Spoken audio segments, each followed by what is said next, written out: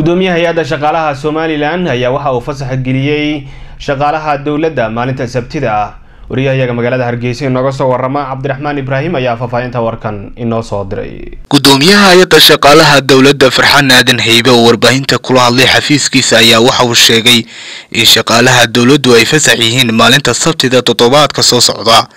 Xuska shaqaalaha adduunka kowda bisha mey oo sanad kasta laga xuso caalamka sidoo kalena waxa uu hambalya u diray shaqaalaha dowladda iyo sidoo kale xaasaskooda.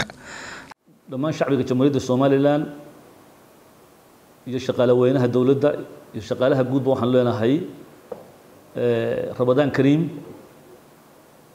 berri oo maalin jimco ah oo ah kowda may labada kun iyo labaatanku waxay ku beegan tahay maalintii shaqaalaha adduunka.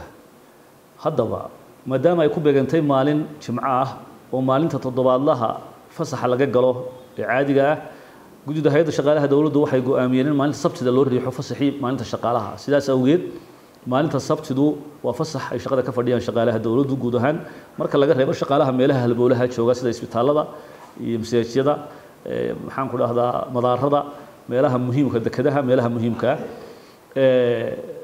waxaa kaloo halkan dardaaran ka diraynaa la xidhiidha cudurka halista ah ee safmarka ah ee covid 19 ama coronavirus ee adduunka khatarta ku haya inaynu waanada iyo wacyigelinta iyo talooyinka ka imanaya guddida heer qaran iyo dhakhaatiirta iyo wasaaradda caafimaadkaba aynu u dhug yeelano si aynu uga badbaadno khatartiisa cudurkaas oo khatar fara badan ku haya waddamadii dhaqaalaha badan haya awoodda badan sheeganayay.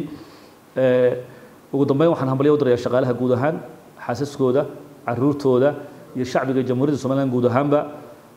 Maalinta shaqaalaha adduunka ee ah kowda may biidni illaahi tacaala hambalya baan leeyahay إلهي سنة سنة كيسة هنو قارسي. روب كواي نوش ببرواقو. يبش بش السلام عليكم ورحمة الله وبركاته. عبد الرحمن إبراهيم تلفزيون كالصومالي كيبل.